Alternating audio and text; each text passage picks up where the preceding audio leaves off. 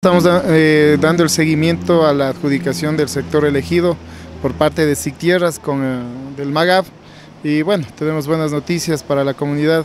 El 5, el 4 de febrero se abre el sistema, hay que pagar una tasa y prácticamente estaríamos ya con todo el trámite legal finalizado y estaríamos esperando ya solo la entrega de las escrituras de este espacio que queremos encaminarlo para un parque recreativo, pero obviamente para cualquier planificación primero necesitamos tener las escrituras de este, de este inmueble.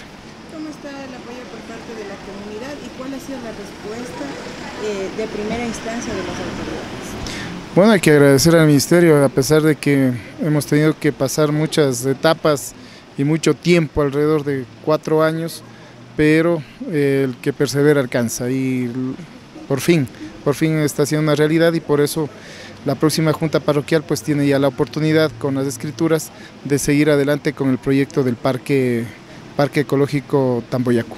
¿De qué constaría, en el caso de realizarse, de qué constaría las instalaciones del parque? Bueno, básicamente lo que queremos es recuperar, eh, mantenerlo lo más verde que posible, una, sería una caminería para, para lo que es eh, una ciclovía y lo que es el parque, eh, una laguna, rebrotes de agua, eh, ese tema.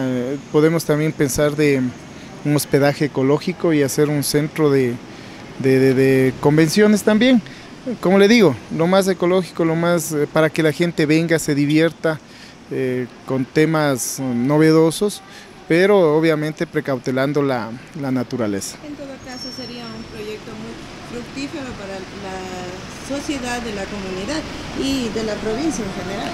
Bueno, nosotros pensamos también que pueden ir unas plataformas donde podemos fomentar lo que es el desarrollo de la actividad artesanal.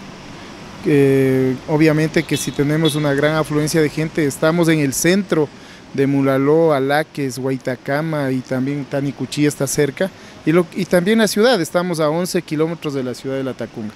Así que Esperamos pues darle otras fuentes de trabajo a nuestra gente, potenciar lo que es la gastronomía.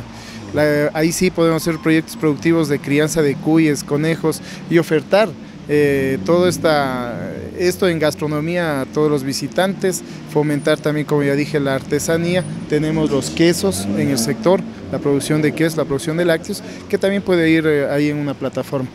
Y lo que es el cultivo, de, el cultivo orgánico, de hortalizas que también podríamos ofertar ahí.